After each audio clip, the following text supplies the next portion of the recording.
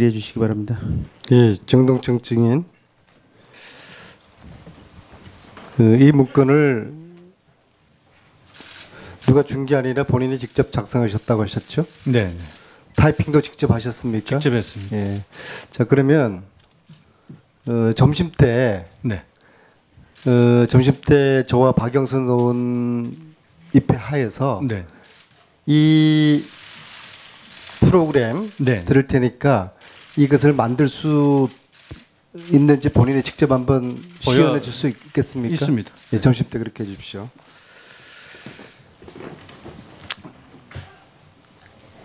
그 이화 여대는 여전히 이 도가니 사건입니다.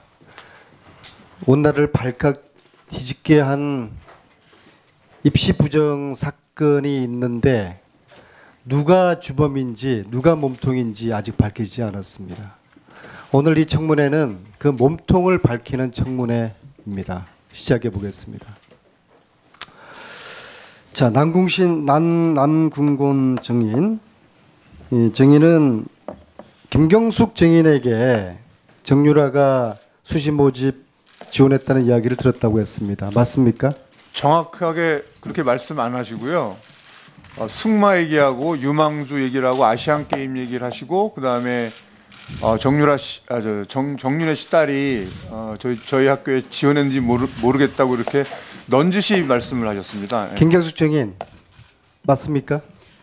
그런 사실이 없는 걸로 저는 기억이 됩니다. 네. 왜냐하면은 알겠습니다. 예, 음, 그래서 그 들은 이야기를 남궁곤 어, 증인이 총장에게 보고를 했죠. 그리고 그 제가 다시 말씀드리지만 다시 처장실로 가서 어, 인터넷 검색을 해서 정윤혜 씨 딸 이름이 정유연이고 그다음에 청담고등학교 3학년이고 그리고 금메달을 아시안 게임에서 수상했다는 사실을 자, 알고 그래서 네. 그 보고를 했더니 총장이 뭐라 그러던가요? 첫 마디가 아, 정윤혜 씨가 누구냐고 저한테 되물으셨습니다. 네. 음, 알겠습니다.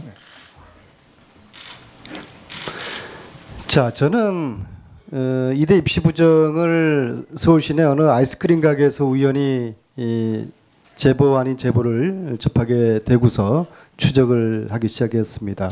근데 제일 첫 번째 저에게 의심을 갖던 부분이 남궁진 정인의 정인이 저에게 제출한 이 의견서였습니다.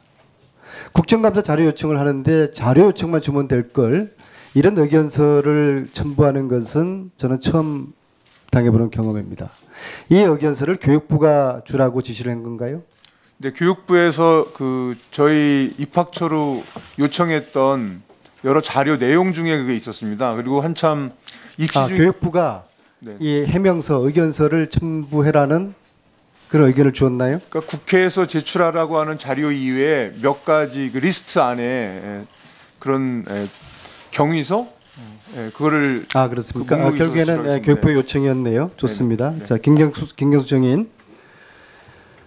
아 정인이 남궁진 정인에게 정유라의 원서 지원 사실을 이야기했다고 하는 남정인의 증언은 그럼 위정인가요? 저는 제가 정확하게 왜 자꾸 언론에서 아까 그러니까 그게 위정인가요? 그만 말씀하세요. 아니요, 제가 물어는 봤습니다. 근데 어떤 식으로 물어봤냐 하면은 저희가 12개 종목이 추가가 됐기 때문에 이러 이런 몇 개 종목을 제가 나열을 하면서 그러니까 승마 얘기를 그쪽에 했고 그렇죠. 그 속에 하나가 딸 이야기도 했고. 그러니까. 아닙니다. 그거는 절대 아닙니다. 왜냐하면 저는 그 당시에 정유라가 누구인지를 잘 몰랐기 때문에 음. 자 그거는 그러면 남, 아, 않았습니다. 남정인은 왜 김경숙 증인이 하지도 않은 이야기를 했다고 이야기를 합니까? 그 당시 학장님하고 저가 처장 보직을 시작한 게 거- 같은 시기였고요. 8월 달에.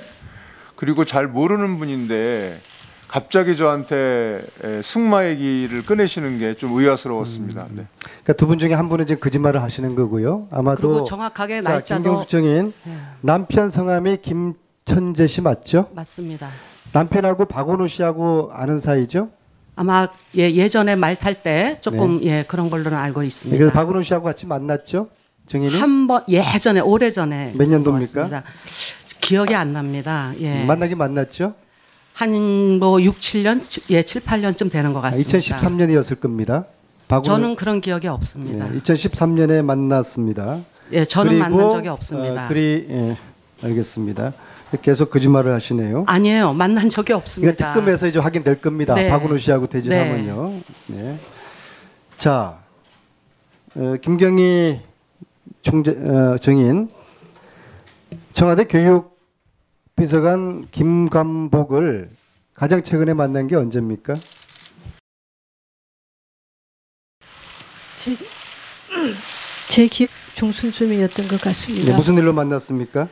그 김감복 그 비서관은 제가 그때 비서관으로 근무할 때 선임 행정관이어서 그 이후로도 한한 2년 정도에 한 번씩 그 비서관실 식구들끼리 모인 적이 있었습니다. 그러다가 최근에 한 2년 정도는 이제 못 뵙다가 그다음에 그러니까 7월 달에 무슨 일로 만났어요? 예, 단둘이 만났죠. 아닙니다. 한 분도 있었습니다. 누구랑 한 명 더 누굽니까? 한 분들은 우리 그때 비서관실에 근무하는 분이었는데요. 청와대. 네네. 네, 무슨 얘기했습니까?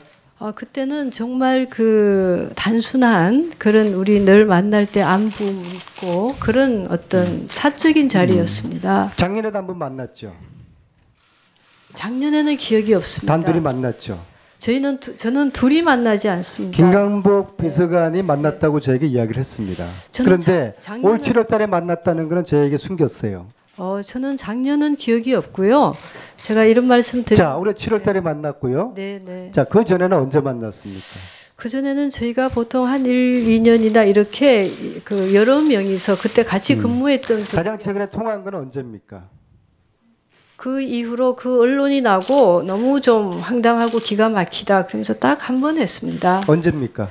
그때가 아마 그 언론에서 뭐 김감복 비서관님이 저에게 뭐 연락을 했다 이렇게 나온 이유일 겁니다. 제가 날짜는 잘 기억하지 못하겠습니다.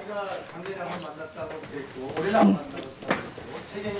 네, 네, 작년 기억은 안 나는데 올해 7월 달에 만났다고 네. 작년 올해 한 차례씩은 예, 작년인지 어쨌든 저희가 한 1, 2년 정도에 한 번씩 비서관실 전 식구들과 한 번 만납니다. 네, 아마 그거였는지 아니요, 저, 저는 원래 남자를 둘이 만나지 않습니다. 아마 그러면 그 식구들끼리 같이 만난 그거였을 겁니다. 따로 만난 둘이 만난 적은 정말 제 기억으로는 없습니다. 네. 예, 안민석 의원 수고하셨습니다.